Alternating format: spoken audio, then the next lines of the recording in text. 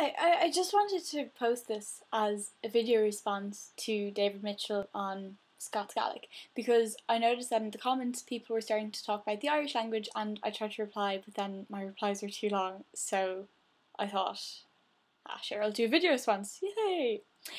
Anyway, um, I'm an avid supporter of the Irish language and so I don't really want to just like rub people up the wrong way who just hate it completely but I do want to just get my point across and if you'd listen to me I'd really appreciate it.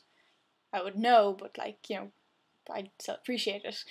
Anyway, um, the thing about the Irish language is that it is quite a personal thing to a lot of people. People who grow up with it as a language, although it's just it's normal to them, it's one of those things that because they know that it's so min- it's such a minority speaker and it's declining, they want to keep it alive. The thing is, is that people who go to Gaelscoil in an all Irish school from junior infants onwards, it does give them an advantage to learning a second language, well, a third language even at that stage, and which would help them, you know, in secondary school when they're learning other languages. Also, I mean, people who look down upon the fact that some parents send their children to all Irish schools purely from a points view that they'll do really well in Irish and they're leaving cert, or they'll go to an all Irish secondary school as well, and they can do all their languages through Irish. I mean, all their subjects through Irish, and get more points. Then that's not bad. I mean, their still learning the language. They're fluent speakers now, and they're getting slightly more points in the leaving.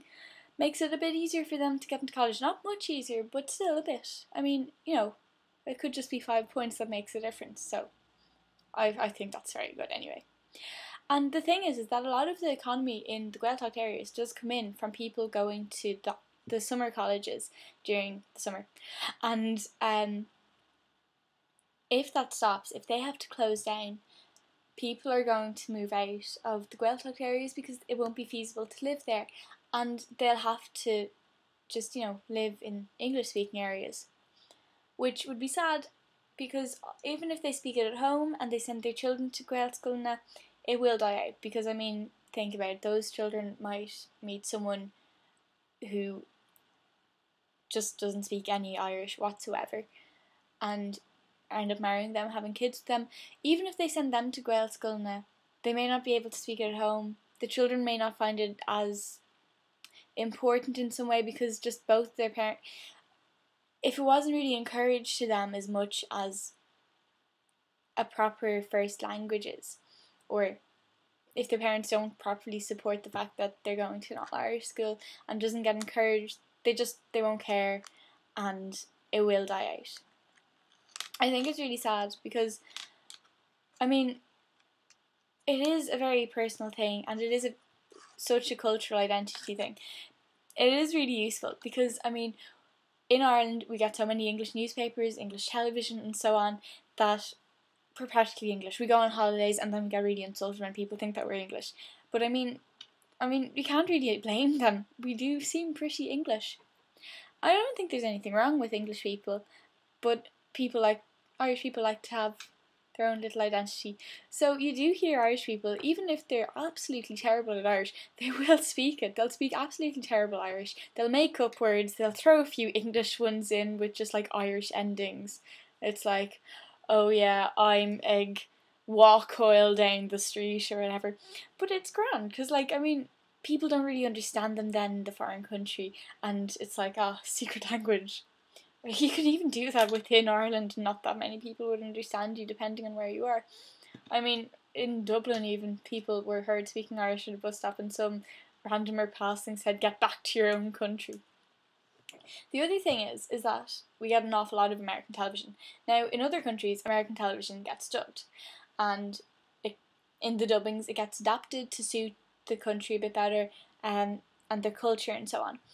So they don't really lose that much. They don't lose anything really, like or see more. They wouldn't see as much of American culture as we do.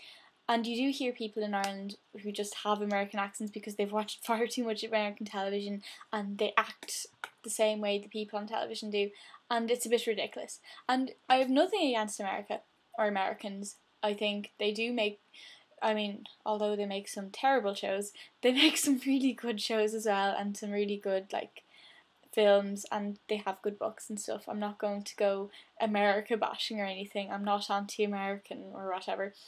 But we do gain a lot of their culture and in doing so we're losing a lot of their own our own.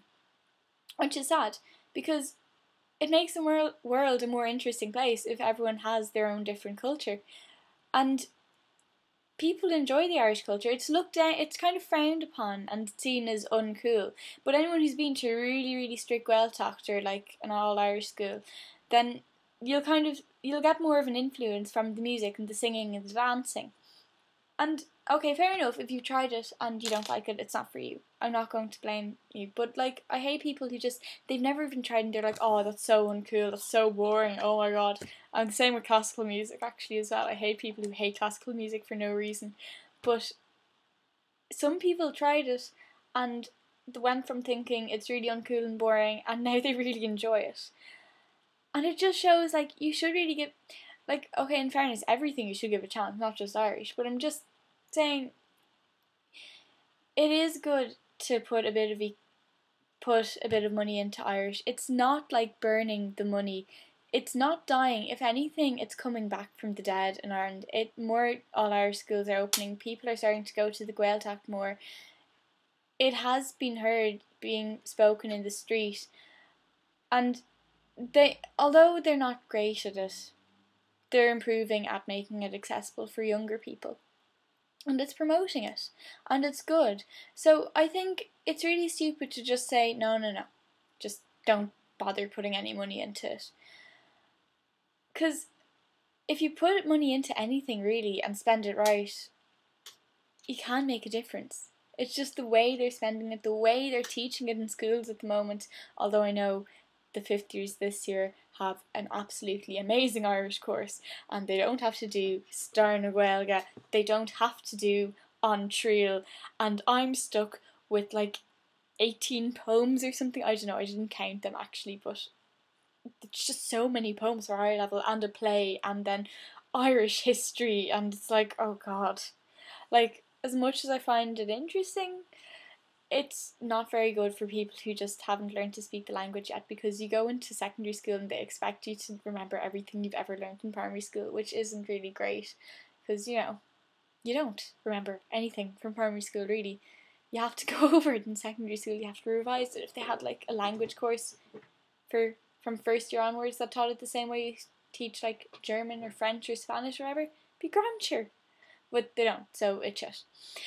But yeah, put money into the language, I say, and spend it right, and you'll see it flourish. You will see it flourish, and I promise that. Anyway, that's just my points. And if you like my video, or even if you didn't because you hate Irish or something and you just wanted to see what this was, I promise not all my videos are about Irish. You should click subscribe. Just click subscribe there. Oh yeah subscribe to all my videos. It'll be right here. Anyway, bye.